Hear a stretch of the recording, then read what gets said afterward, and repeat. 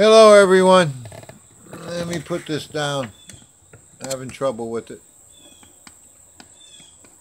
Got a question. It leads to more questions.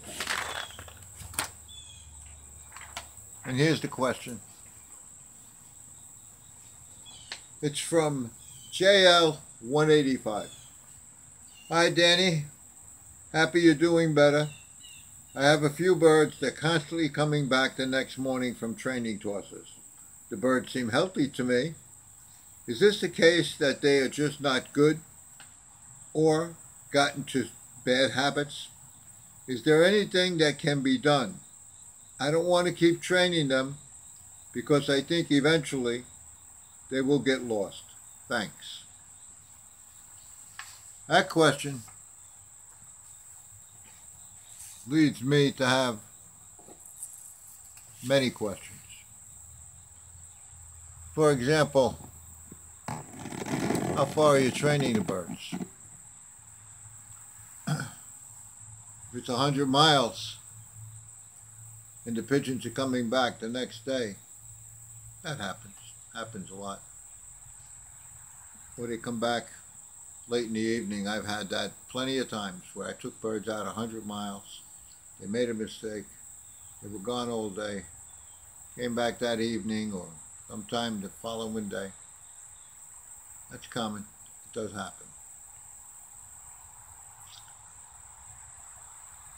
But you're not telling me that. You're not telling me how far the birds are flying or what they're doing. Makes me wonder. We also know, and I've done videos on this, where pigeons look healthy, but they're not. We've, we've gone through that in older videos. Don't think just because a pigeon looks healthy, it's healthy. Many times they are not. I've had I've had pigeons with worms and they look perfectly fine. Until and then when I wormed them, they were even better. They were fine. Got rid of the parasites. So your question leads to other questions. A good example would be, how clean is your loft? You, do you have the time to maintain it and keep them healthy, no dust, no droppings in the loft? How often have you medicated them? And are you sure that medication worked? I get I get often get a comments where guys are giving them vinegar for canker. I don't believe vinegar cures canker. So there's a lot of a lot of variables to your question. I'm not being nasty or mean to be when I say sometimes the problem is not the pigeons, it's the pigeon keeper.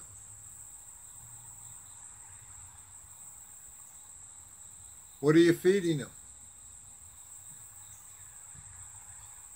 If you're feeding them pellets and you're training them and, and going away thirsty, they're going to go down for water. They're going to find water. Is it just a mistake? Is it the same bird all the time? A lot of questions. Just too many questions. So to answer your question, I'm going to tell you before, how, how am I going to say this? I'm going to tell you, you have to make sure the birds are healthy. And that means no worms, no cocci, no biting bugs, no, no parasites whatsoever. Then tell me how the birds are uh, training and make sure that they're healthy. Don't suspect that they're healthy. Make sure. You got to know that the birds are healthy.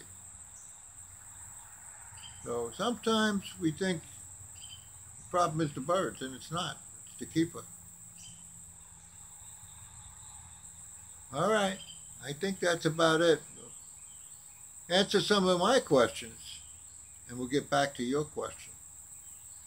Thank you for your question. It's a good question.